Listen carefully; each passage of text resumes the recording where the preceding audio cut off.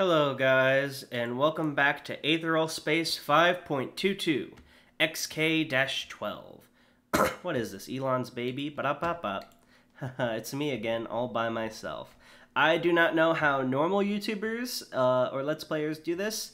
It is very hard to talk on your own. I'm sure it's a skill you learn over time, but it's not one I have had to, and this is difficult. So I'm just gonna jump into the reading now. And if I mispronounce anything, um, don't take my pronunciations as law because Tan's not here to correct me. Ruth shuffled uncomfortably in the darkness of the hollow tree. This real resistance, the Greenhay, they'd said they were called, were quiet at the best of times, but in this place it seemed that silence had taken on a reverent quality. An old owl had led her inside the tree at the center of their encampment after her little outburst, promising to explain everything. Ruth wasn't sure he could do that. With all the weird shit going on on this planet, they'd be here for a billion years if he tried to walk her through it. Still, she was willing to listen. It wasn't like she was good for much else. The inside of the tree was illuminated only by fireflies, bobbing and weaving lazily through the air, some landing on the leaf covered cloaks of her Greenhay escorts. They didn't even blink in response to the bugs crawling over them. Ruth, on the other hand, found herself waving her hands to keep the insects off her. Not quite the dignity the Greenhay seemed to be looking for, but it was all they, that they were getting. Click, click! Old Owl limped back into sight. He'd gone off for a moment, a small object in his hand. Ruth's eyes were instantly drawn to the silver disc shaped thing. Unlike everything else she'd seen since she'd arrived here, it was familiar. Not exceedingly familiar, it was definitely an antique among antiques, but Ruth knew a hologram projector when she saw one. What is that? she asked quietly. Old Owl held the disc up in his hand. It is the truth, he rumbled. Unfiltered, unbiased, remembered. Do you want to see it? Ruth gulped. She felt sweat on her hands as she clenched them into fists. It was absurd. How much could the truth of this planet affect her, really? She'd barely been here a week. Still, she felt nervous. The grimness in Old Owl's eyes seemed only to intensify that. Yeah, Ruth said finally. Yeah, I want to see it. Dragan found Lily just outside the cave system, sitting on a ledge that overlooked the vast forest below. As he approached, she hurled a pebble out into the distance, like she was skipping rocks across a pond. Penny for your thoughts? he sighed, hands in his pockets as he reached her. She glanced up at him. The fuck's a penny? Dragan paused. He actually didn't know. You seem kind of freaked out. Lily turned back to the horizon, sun barely peeking over it, and threw her hands out as if she were about to say something. No words came, though, just a formless sigh. Dragan couldn't exactly blame her. She just found out that pretty much all the history she knew had been a lie. Gene tyrants, she muttered, rubbing at one eye. You really think our gods are these. were these things? Monsters? Dragan folded his jacket up on the, the rocky ground. Hey, typo. On the rocky ground and sat on top of it, legs crossed, hands in his lap. I don't know about monsters, he said hesitantly. Just people that figured out how to do things others couldn't. They could. They were monsters. They were monsters, I guess, but not like wild animals or anything. Why? Do you not want to accept that? Lily looked unsure. When her mouth opened, it took her words several seconds to make their escape. I don't. I don't really know. I'm not sure if I believed in the gods and what I what we were all taught as kids, but Dragan furrowed his brow. You've been fighting the regulators for years, though. I don't really see how this changes anything. Yeah, Lily tossed another stone. Fighting the regulators. I've never I've never thought I was actually fighting the gods or anything like that. I hated the messenger, but the message I could take it or leave it, I think. Guess I just leave it now. Even saying that, though, there was a glint of hope as she glanced up at Dragan. You could be wrong still, I suppose. There's no proof these gene tyrants actually made the guardian entities. Dragan winced. False hope was uncomfortable to look upon, after all. I don't see how anyone else could have done it. Gene manipulation is the most taboo of taboos in the galaxy now. Apart from the Superbians, nobody's bold enough to mess around with it. And if the organisms that became guardian entities were naturally occurring, there'd be specimens of them in the wild, too. There aren't, so not really sure what else there is to say. Fuck! Lily muttered, tossing another stone with all her strength. Fuck! Dragan nodded. The thing you told Ruth about, the complex underneath the Regulator's base, I'm thinking that was probably the original Gene Tyrant ship, where the Regulators make the Guardian entities. I bet it crash landed here during the war, right? The second glance Lily shot his way was much harsher. Not really interested in the logistics of it. Oh, uh, sorry. For a moment they were silent, staring out at the sea of trees below.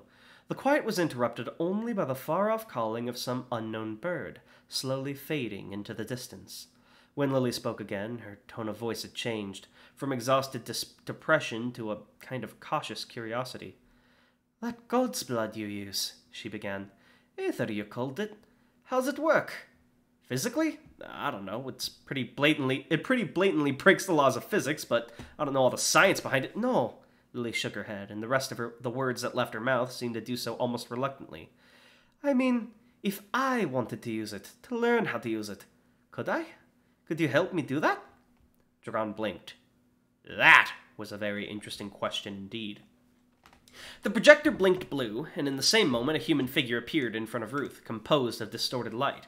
The blue glow bathed the inside of the hollow tree, shadows dancing with every minor movement of the hologram. I'm curious if Ruth recognizes it as human. I know Tan's not here, but Tan, only, does that mean he doesn't have reachers? And if so, what do the forest folk think about that?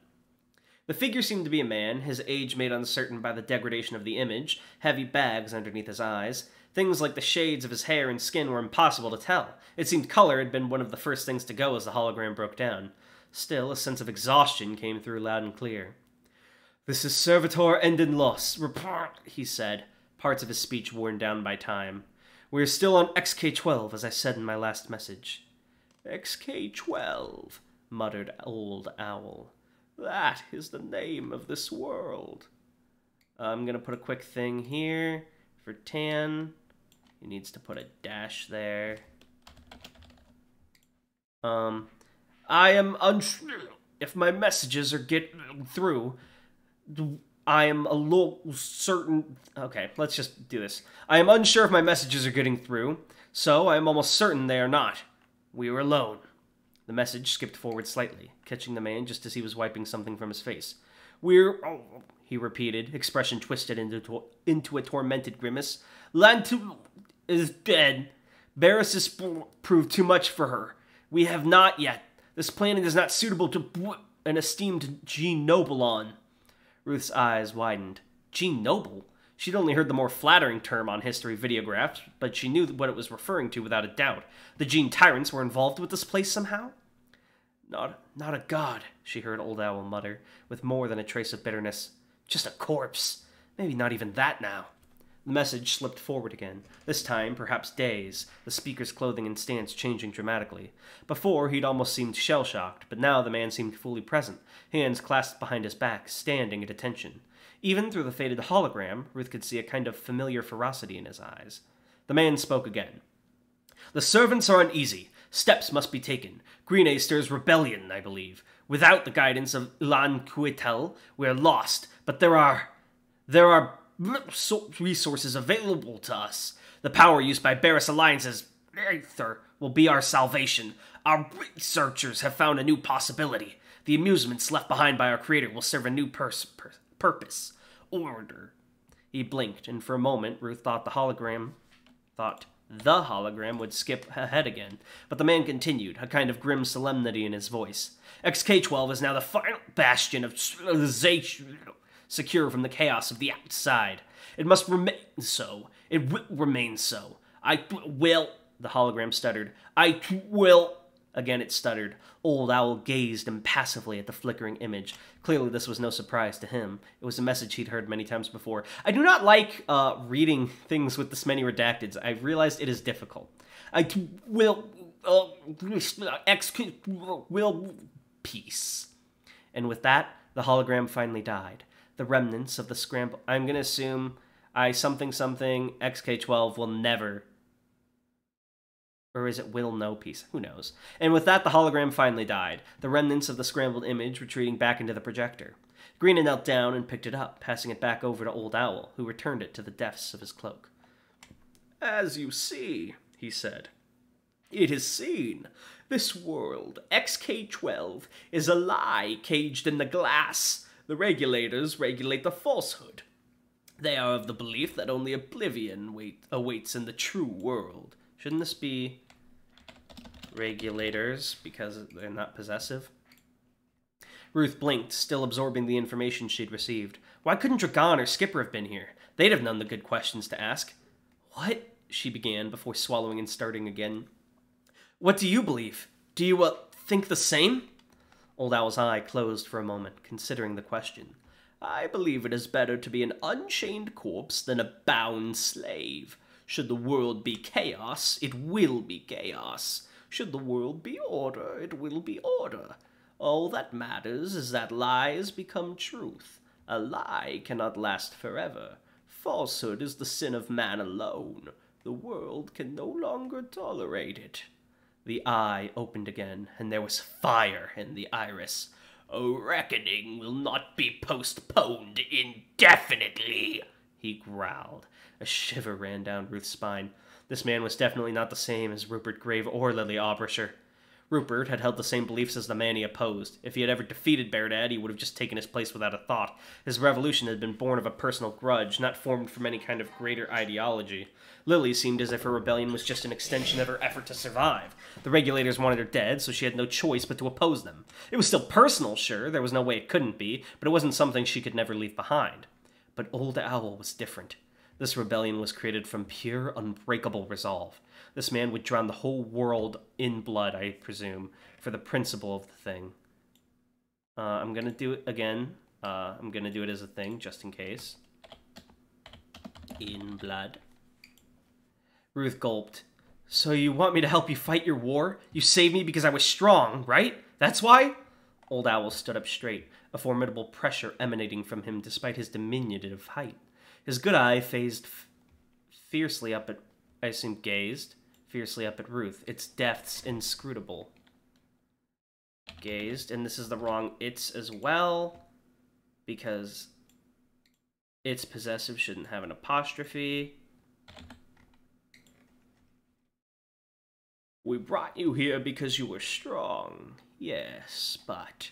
The eye flicked past Ruth, looking instead behind her. She fol- she turned to follow its gaze. Uh, again, the wrong it's. Another one of the cloaked green, eh, was standing in the entrance to the tree. Entrance of the tree, I think, is better. Entrance of the tree. Hands clasped in front of them. Ruth hadn't even heard them approaching. It's a- it's as we expected, the messenger whispered. Aubrasher's rebels are attempting to flee through the swamps, and the Prester has already laid a trap for them. The eye narrowed slightly. Then the end of the war is at hand. What does he mean? Ruth asked, turning back towards Old Owl. What's he talking about? What swamps? Old Owl didn't provide any answer to that question. Instead, he simply turned his eye back to Ruth and continued the statement that had been cut off. We brought you here because you are strong, but you are not here to help us fight this war. The eye blinked. You are here to help us end it. Ooh, spooky tone. I kind of like that in the same chapter he actually went back and uh, went back to Ruth and Owl because Old Owl because a lot of this and I know this is, it's not a Tan anything storytelling does this like Tan sets up something then makes you wait by going to someone else and it often feels like you're getting jerked around but the fact that it actually did circle around and we got sort of this really enticing cliffhanger with Old Owl was super cool. Um, I hate reading redacted stuff, but I respect the coolness it adds probably in like a visual format reading it. Uh, and there were a decent amount of mistakes here. I'll, I will talk to Tanhoney about grammar wise, but otherwise, great chapter. Uh, so next time you guys see an Aetheral Space, uh, unless Tanhoney uh, does something really insane, he should be with me. Uh, and if he's not with me, then I probably won't read it alone again because I don't want to make this a habit. Anyway, thanks for tuning in, guys. Bye!